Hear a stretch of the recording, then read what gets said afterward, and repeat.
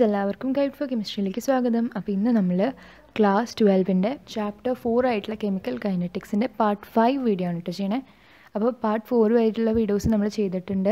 അതിന്റെ ലിങ്കും കാര്യങ്ങളെല്ലാം ഞാൻ ഡിസ്ക്രിപ്ഷനിലും പിന്നെ ഐ ബട്ടണിലും കൊടുക്കാം. അപ്പോൾ അത് കണ്ടതിന് ശേഷം മാത്രം ഈ വീഡിയോ കാണാം കേട്ടോ. അപ്പോൾ ഇതുവരെ നമ്മൾ പറഞ്ഞുകൊണ്ടിരുന്നത് റിയാക്ഷൻ റേറ്റിനെ ഡിപ്പെൻഡ് ചെയ്യുന്ന ഫാക്ടേഴ്സിനെ പറ്റി ഓരോന്നിനെ പറ്റിയും പറഞ്ഞു. ആദ്യം concentration of reactants and products പറഞ്ഞു. പിന്നെ ടെമ്പറേച്ചറിനെ പറഞ്ഞു. ഇനി അടുത്തത് കാറ്റലിസ്റ്റ് ആണ്. അപ്പോൾ കാറ്റലിസ്റ്റിന് എങ്ങനെയാണ് ഡിപ്പെൻഡ് ചെയ്യണേ നോക്കാം. അപ്പോൾ ആദ്യം തന്നെ എന്താണ് കാറ്റലിസ്റ്റ് എന്ന് അറിയണം അല്ലേ?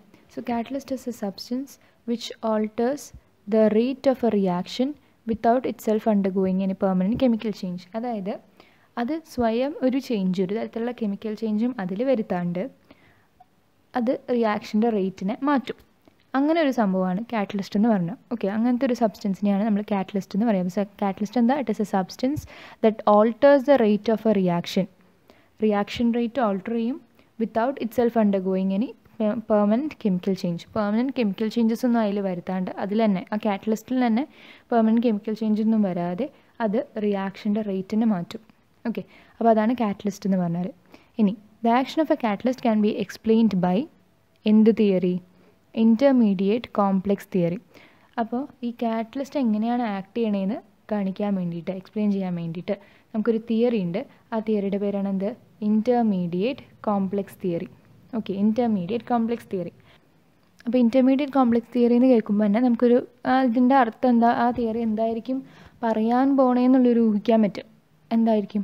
ഇന്റർമീഡിയറ്റ് ആയിട്ട് ഒരു കോംപ്ലെക്സ് അവിടെ ഫോം ആവുന്നുണ്ടാവും അതുകൊണ്ടാണ് ഇന്റർമീഡിയറ്റ് കോംപ്ലെക്സ് തിയറി എന്ന് പറയുന്നത് നമുക്ക് നോക്കാം എന്തായാലും.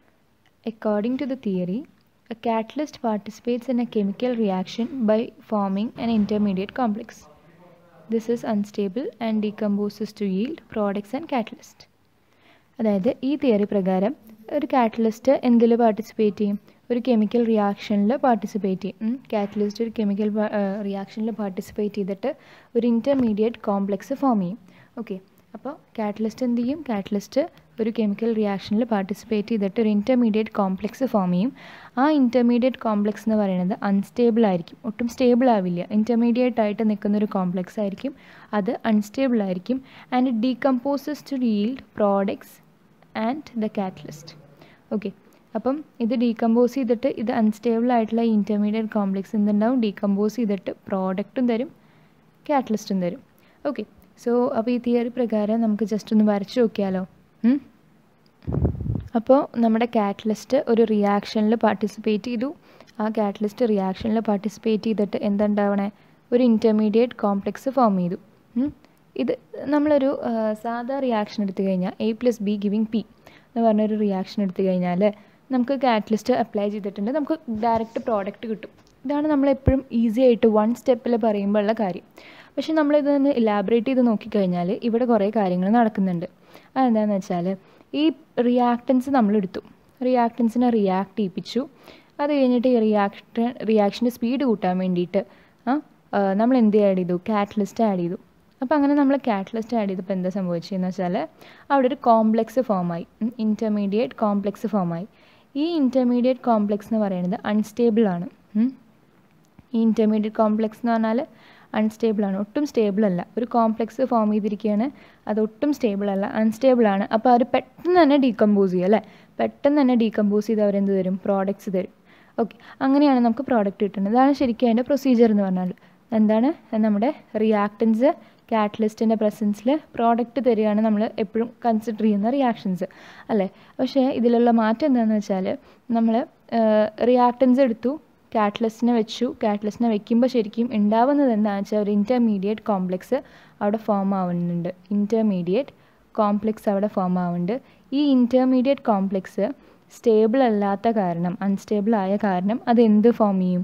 അത് പ്രോഡക്ട്സ് ഡീകമ്പോസ് ചെയ്ത് ഇവർ ഡീകമ്പോസ് ചെയ്തിട്ട് പ്രോഡക്റ്റ് ഫോം ചെയ്യും. ഓക്കെ ഇതാണ് അതിന്റെ പ്രോസസ്സ് കേട്ടോ അപ്പോൾ ഈ തിയറി നമുക്ക് ഒന്നും കൂടിയും വായിക്കാം. According to this theory a catalyst participates in a chemical reaction by forming an intermediate complex which is unstable and it decomposes to yield products and the catalyst.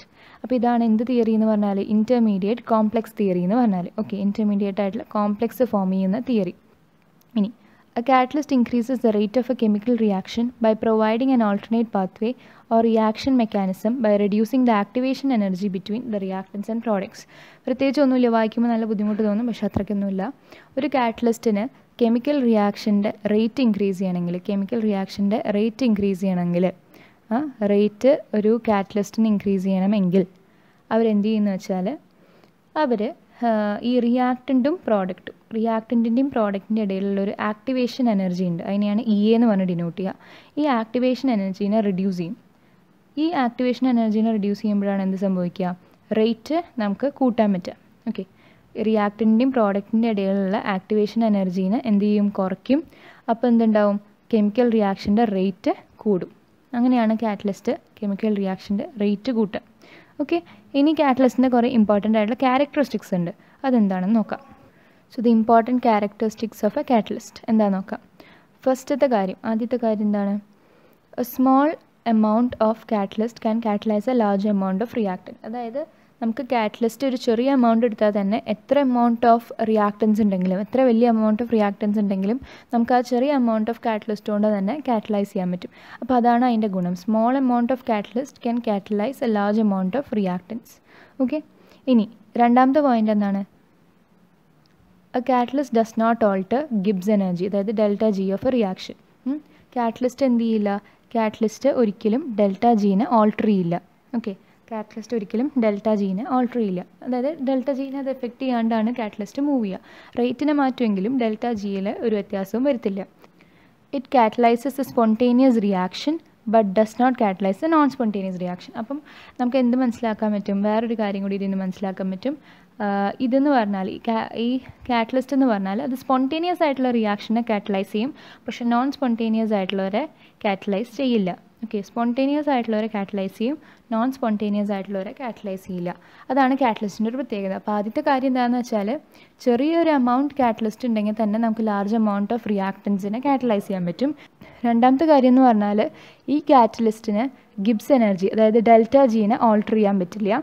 ഇനി ഈ കാറ്റലിസ്റ്റ് സ്പോണ്ടേനിയസ് ആയിട്ടുള്ള റിയാക്ഷൻസിനെ മാത്രമേ catalyse ചെയ്യുള്ളൂ. Non spontaneous ആയിട്ടുള്ള റിയാക്ഷനെ catalyse ചെയ്യില്ല. അതൊക്കെ ഒരു ഒറ്റ പോയിന്റിലാണ് അപ്പോൾ രണ്ട് പോയിന്റ് ഇപ്പോൾ നമുക്ക് കിട്ടിയിട്ടോ ഇനി മൂന്നാമത്തെ പോയിന്റ് എന്ന് പറഞ്ഞാൽ a catalyst does change the equilibrium constant of a reaction okay equilibrium കോൺസ്റ്റന്റിനെ ഒരിക്കലും ചേഞ്ച് ചെയ്യില്ല. ഒരു കാറ്റലിസ്റ്റ് ഇക്ലിബ്രിയം കോൺസ്റ്റന്റിനെ ഒരിക്കലും ചേഞ്ച് ചെയ്യില്ല. ഇക്ലിബ്രിയം കോൺസ്റ്റന്റ് എന്ന് പറഞ്ഞാൽ എന്താ? കെ കെനെ ഒരിക്കലും ചേഞ്ച് ചെയ്യില്ല. അപ്പോൾ ഡെൽറ്റ ജീനെ ചേഞ്ച് ചെയ്യില്ല. കെനെ ചേഞ്ച് ചെയ്യില്ല. ഡെൽറ്റ ജീനെ ചേഞ്ച് ചെയ്യില്ലെങ്കിലും സ്പോണ്ടേനിയസ് റിയാക്ഷൻ മാത്രമേ അത് കാറ്റലൈസ് ചെയ്യുള്ളൂ നോൺ സ്പോണ്ടേനിയസിനെ കാറ്റലൈസ് ചെയ്യില്ല. ഇനി കെയിന് ഇക്ലിബ്രിയം കോൺസ്റ്റന്റ് റിയാക്ഷന്റെ ഇക്ലിബ്രിയം കോൺസ്റ്റന്റിനെ change ചെയ്യില്ലെങ്കിലും it helps to attain the equilibrium faster by increasing the rate of both forward as well as backward reaction അപ്പം അത് ഇക്ലിബ്രിയം കോൺസ്റ്റന്റിനെ എഫക്റ്റ് ചെയ്യില്ലെങ്കിലും അത് റേറ്റിനെ കൂട്ടും. ഇക്ലിബ്രിയം പെട്ടെന്ന് എത്തിക്കാൻ സഹായിക്കും. റേറ്റ് കൂടിയാൽ എന്തുണ്ടാവും? ബാക്ക്വേർഡ് അല്ലെങ്കിൽ ഫോർവേഡ് റിയാക്ഷൻ റേറ്റ് കൂടിയാൽ പെട്ടെന്ന് ഇക്ലിബ്രിയം എത്തും അല്ലേ? അക്കോർഡിംഗ് ടു ദ കണ്ടീഷൻ നമ്മൾ ബാക്ക്വേർഡിലേക്കോ ഫോർവേഡിലേക്കോ റിയാക്ഷൻ റേറ്റ് കൂട്ടിക്കഴിഞ്ഞാൽ ഇക്ലിബ്രിയം പെട്ടെന്ന് എത്തും. അപ്പോൾ ഇക്ലിബ്രിയം പെട്ടെന്ന് എത്തിക്കാൻ ഈ കാറ്റലിസ്റ്റിന് പറ്റും. പക്ഷേ ഇക്ലിബ്രിയം കോൺസ്റ്റന്റിനെ അതിനൊന്നും ചെയ്യാൻ പറ്റില്ല. ഓക്കെ അപ്പോൾ ഇതാണ് മൂന്ന് കാര്യങ്ങൾ. എന്തൊക്കെയായിരുന്നു? ഒന്നും കൂടി പറയാം. ഒന്ന് ചെറിയ എമൗണ്ട് ഓഫ് കാറ്റലിസ്റ്റിന് ലാർജ് എമൗണ്ട് ഓഫ് റിയാക്ടൻസിനെ കാറ്റലൈസ് ചെയ്യാൻ പറ്റും. രണ്ട് ഡെൽറ്റ ജി ഗിബ്സ് എനർജീനെ ഒരു തരത്തിലും ഓൾട്ടർ ചെയ്യില്ല. പക്ഷേ അത് സ്പോണ്ടേനിയസ് ആയിട്ടുള്ള റിയാക്ഷനെ മാത്രമേ കാറ്റലൈസ് ചെയ്യുള്ളൂ. നോൺ സ്പോണ്ടേനിയസ് ആയിട്ടുള്ളതിനെ കാറ്റലൈസ് ചെയ്യില്ല. പിന്നെ എന്ന് പറഞ്ഞാൽ ഈ കാറ്റലിസ്റ്റ് ഇക്ലിബ്രിയം കോൺസ്റ്റന്റിനെ ചേഞ്ച് ചെയ്യില്ല. പക്ഷേ അത് ഇക്ലിബ്രിയം പെട്ടെന്ന് എത്തിക്കാൻ സഹായിക്കും. എങ്ങനെ? By increasing the rate of both forward as well as backward reaction അപ്പം ഇനി നമ്മൾ potential energy versus reaction coordinated graph വരച്ച് കഴിഞ്ഞാൽ potential energy versus reaction coordinated graph വരച്ച് കഴിഞ്ഞാൽ റിയാക്ഷൻ കോർഡിനേറ്റ് എന്താണെന്ന് നമ്മൾ പറഞ്ഞിട്ടുണ്ടായിരുന്നു. അപ്പോൾ potential energy versus reaction re coordinate തമ്മിലൊരു ഗ്രാഫ് വരച്ച് കഴിഞ്ഞാൽ എന്ത് കിട്ടും നോക്കാം. ഇവിടെ ആദ്യം തന്നെ എന്താണ് ഉണ്ടാവണേ? ഒരു റിയാക്റ്റന്റ് ഉണ്ട് ഈ സൈഡിൽ ഇവിടെ എന്താ ഉള്ളത്? പ്രോഡക്റ്റ് ആണുള്ളത് ഓക്കെ അപ്പോൾ റിയാക്റ്റന്റ് ഉണ്ട് പ്രോഡക്റ്റ് ഉണ്ട് കേട്ടോ അപ്പോൾ ഇനി എന്താണ് ഉണ്ടാവുന്നതെന്ന് വെച്ചാൽ ഈ റിയാക്റ്റന്റ് ഇങ്ങനെ പോണു. നമ്മൾ ആദ്യം ആക്ടിവേഷൻ എനർജി അപ്ലൈ ചെയ്യാണ്ടാണ് പോണേന്ന് വിചാരിക്കാം. ഓക്കെ അപ്പോൾ അതാദ്യം നോക്കാം. അപ്പോൾ ഈ സൈഡിൽ റിയാക്റ്റൻസ് ഉണ്ട് ആ സൈഡിൽ പ്രോഡക്റ്റ്സ് ഉണ്ട് അത് മനസ്സിലായി. ഇനി റിയാക്ഷൻ വിത്തൗട്ട് കാറ്റലിസ്റ്റ് ആണ് നമ്മൾ നോക്കണേ കേട്ടോ കാറ്റലിസ്റ്റ് കൊടുക്കാണ്ട് കാറ്റലിസ്റ്റിന് നമ്മളിപ്പോൾ ആഡ് ചെയ്തിട്ടില്ല. കാറ്റലിസ്റ്റിനെ കൊടുക്കാണ്ടുള്ള പാത്ത് നോക്കിക്കഴിഞ്ഞാൽ നോക്കൂ റിയാക്ടൻസ് ഇവിടുന്ന് തുടങ്ങി നമ്മൾ റിയാക്ടൻസ് കൊടുത്തു. നമ്മളിവിടെ റിയാക്ടൻസ് കൊടുത്തു. റിയാക്ടൻസ് കൊടുത്തു കഴിഞ്ഞ് അവർ ദേ ഇങ്ങനെ പോണു. ഇങ്ങനെ പോയി കഴിഞ്ഞിട്ട് നമ്മൾ ഇപ്പോൾ കാറ്റലിസ്റ്റ് ഒന്നും കൊടുക്കാത്ത കാരണം ഇന്റർമീഡിയറ്റ് കോംപ്ലക്സ് ഒന്നും വന്നിട്ടില്ല കേട്ടോ റിയാക്ടൻസ് കൊടുത്തു ജസ്റ്റ് അവർ പ്രോഡക്ട്സ് തന്നു. ഓക്കെ ഈ മുകളിലത്തെ കേവാണ് എന്ത് കാണിക്കുന്നത് നമ്മൾ കാറ്റലിസ്റ്റ് കൊടുക്കാത്ത പാത്ത് കാണിക്കുന്നത് ഓക്കെ അപ്പോൾ അവരുടെ ആക്ടിവേഷൻ എനർജി നിൽക്കുന്നത് ഈ ഏരിയയിലാണ് ഓക്കെ ഇനി ഇനി നോക്കേണ്ടത് നമ്മൾ എന്താ വെച്ചാൽ റിയാക്റ്റൻസ് നമ്മളിനി കാറ്റലിസ്റ്റ് കൊടുക്കുകയാണ് കാറ്റലിസ്റ്റ് കൊടുത്തു കഴിഞ്ഞിട്ട് എന്താ ഉണ്ടാവുന്നത് നോക്കൂ. റിയാക്റ്റൻസിന്റെ എമൗണ്ട് ഇവിടെ ഇതിനെ കമ്പയർ ചെയ്തിട്ട് കുറവല്ല? ഒന്ന് ശ്രദ്ധിച്ച് നോക്കി നോക്കിയേ ഇത് ഇതിനെ കമ്പയർ ചെയ്തിട്ട് നമ്മുടെ കാറ്റലിസ്റ്റ് അപ്ലൈ ചെയ്യുന്നതിനെ കമ്പയർ ചെയ്തിട്ട് റിയാക്റ്റൻസിന്റെ ലെവൽ ആ എനർജി ലെവൽ കുറവല്ലേ? അതായത് ഇതേ ഇവിടെ ഇവിടെ റിയാക്റ്റൻസിന്റെ എമൗണ്ട് സെയിം ആണ്. പക്ഷേ നമ്മൾ കാറ്റലിസ്റ്റ് അപ്ലൈ ചെയ്യാണ്ട് പോകുമ്പോൾ ഇത്രയും എനർജി എടുക്കുന്നുണ്ട്. പക്ഷേ കാറ്റലിസ്റ്റ് കൊടുത്തിട്ട് പോകുമ്പോൾ ഇത്ര എനർജി എടുക്കണുള്ളൂ. അതാണ് പറഞ്ഞത് നേരത്തെ. കാറ്റലിസ്റ്റിന്റെ ക്യാരക്ടറിസ്റ്റിക്സിൽ പറഞ്ഞു കഴിഞ്ഞാൽ അത് കുറവ് എനർജിയാണ് ഈ റിയാക്ഷൻ റിയാക്റ്റന്റും പ്രോഡക്റ്റും തമ്മിലുള്ള ആക്ടിവേഷൻ എനർജി കുറച്ചിട്ടാണ് അവർ റേറ്റ് കൂട്ടുക. ഓക്കെ അപ്പോൾ ഈ റിയാക്റ്റന്റും പ്രോഡക്റ്റും തമ്മിലുള്ള എനർജി നോക്കൂ. ദേ ഇവിടെ അത് കാണിക്കുന്നുണ്ട്. ദേ ഇവിടം തൊട്ട് ഇവിടം വരെയാണ് എന്തുള്ളത് കാറ്റലിസ്റ്റ് അപ്ലൈ ചെയ്ത് എനർജി ഉള്ളത് എന്നിട്ട് ഇവിടം തൊട്ട് ഇവിടം വരെയാണ് എന്തുള്ളത് കാറ്റലിസ്റ്റ് അപ്ലൈ ചെയ്യാണ്ടുള്ള എനർജി ഇല്ലേ അപ്പോൾ കാറ്റലിസ്റ്റ് അപ്ലൈ ചെയ്യാണ്ടുള്ള ഈ ഗ്രീൻ വരെയല്ലേ? കൂടുതൽ അല്ലേ? ഈ ഗ്രീൻ വരെയാണ് കൂടുതൽ അപ്പോൾ ആക്ടിവേഷൻ അവിടെ ഈ എ അവിടെ കൂടുതലാണ്. കാറ്റലിസ്റ്റ് അപ്ലൈ ചെയ്തിട്ടില്ല. ആക്ടിവേഷൻ എനർജി കൂടുതലാണ്. എന്നാൽ ഈ ഒരു ബ്ലൂ ലൈൻ നോക്കൂ. അത് കാറ്റലിസ്റ്റ് അപ്ലൈ ചെയ്തിട്ടുള്ളതാണ് അപ്പോൾ ഇ എ കുറവാണ്. അതായത് റിയാക്റ്റന്റും പ്രോഡക്റ്റും തമ്മിലുള്ള ആക്ടിവേഷൻ എനർജി കുറവാണ്. അങ്ങനെ കുറച്ചിട്ടാണ് അവർ റിയാക്ഷൻ റേറ്റ് കൂട്ടുന്നത്. ഓക്കെ അപ്പോൾ എനർജി കുറച്ചിട്ട് അവർ പെട്ടെന്ന് തന്നെ പ്രോഡക്റ്റ് തന്നു. അല്ലേ? ഇവർ ഇത്രയും ദൂരം വളഞ്ഞു വന്നത് ഇവർ സുഖമായിട്ട് ഇവിടെ വരെ എത്തിച്ചു. അല്ലേ? അപ്പോൾ ഇതാണ് പൊട്ടൻഷ്യൽ എനർജി റിയാക്ഷൻ കോർഡിനേറ്റ് എന്ന് പറഞ്ഞാൽ ഓക്കെ ഇവിടെ വെച്ചിട്ടാണ് അവർ ഇന്റർമീഡിയറ്റ് കോംപ്ലക്സ് ഫോം ചെയ്യുക കേട്ടോ ഈ കാറ്റലിസ്റ്റ് ഉള്ളതിൽ മാത്രമേ ഇന്റർമീഡിയറ്റ് കോംപ്ലക്സ് ഉണ്ടാവുള്ളൂ. അപ്പോൾ ഇന്റർമീഡിയറ്റ് കോംപ്ലക്സ് ഇവിടെയാണ് ഫോം ചെയ്യുക. അപ്പോൾ മനസ്സിലായെന്ന് വിചാരിക്കുന്നു ഇത് potential energy versus reaction coordinate ഗ്രാഫാണ് അതിൽ reactant sorry reaction taking place with the presence of കാറ്റലിസ്റ്റും without the presence of കാറ്റലിസ്റ്റും ഉണ്ട്. ആ വിത്തൗട്ട് ദി പ്രസൻസ് ഓഫ് കാറ്റലിസ്റ്റിന്റെ എനർജി കർവ് എന്ന് പറഞ്ഞാൽ നല്ല ഹൈ ആയിരിക്കും. കണ്ടു എനർജി കർവ് ഇത് എനർജി അല്ല ഈ പൊട്ടൻഷ്യൽ എനർജിയാണ് വൈ ആക്സിസിൽ കാണിക്കുന്നത്. എനർജി കർവ് ആണിത്. അത് നല്ല ഹൈ ആയിരിക്കും as that compare to the reaction path with catalyst അപ്പോൾ ഇത്രയായിരുന്നു നമ്മുടെ ഫോർത്ത് ചാപ്റ്റർ അതായത് കെമിക്കൽ കൈനറ്റിക്സ് എന്ന് പറഞ്ഞ ചാപ്റ്റർ ഉണ്ടായിരുന്നത് വളരെ ഒരു ചാപ്റ്ററാണ് എളുപ്പം പഠിക്കാൻ പറ്റുന്ന സ്കോർ ചെയ്യാൻ പറ്റുന്ന ചാപ്റ്ററാണ് അപ്പോൾ എല്ലാവരും നന്നായി പഠിക്കാം. അപ്പോൾ ഞാൻ അടുത്ത വീഡിയോയിൽ കാണുന്നവരെ താങ്ക്